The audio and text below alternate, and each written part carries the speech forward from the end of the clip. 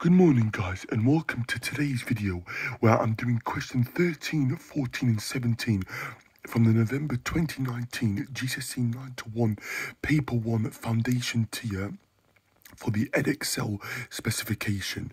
Right guys, this video was filmed on the 30th of April 2021, guys. Right guys, if you're new to my channel, thank you for clicking on my video. My name is Abdallah Wahishi and I'm a recently qualified maths teacher for secondary and primary. I'm currently doing the walkthrough solutions to the Edexcel AQA and OCR foundation tier and then I'm going to move on to the higher tier later in the year.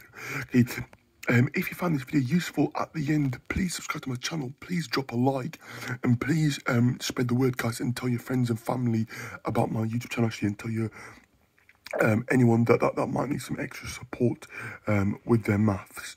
Right, guys, so in today's video, so question 13a says simplify 2a times 5b. Well, 2 times 5 is 10, a times b, I can write it as ab. So my final answer is 10ab. Part B, simplify 3x plus 2y plus 5x minus y, or 3x plus 5x equals 8x, so collecting like terms, 2y minus y is plus y. So it's 8x plus y or y plus 8x, either way is correct.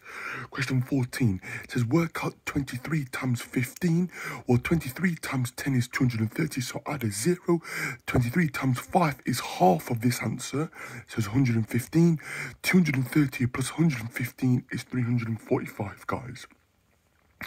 Question number 17. It says x minus 1 equals 2. It says work out the value of 2x squared. So firstly, we've got to solve this equation.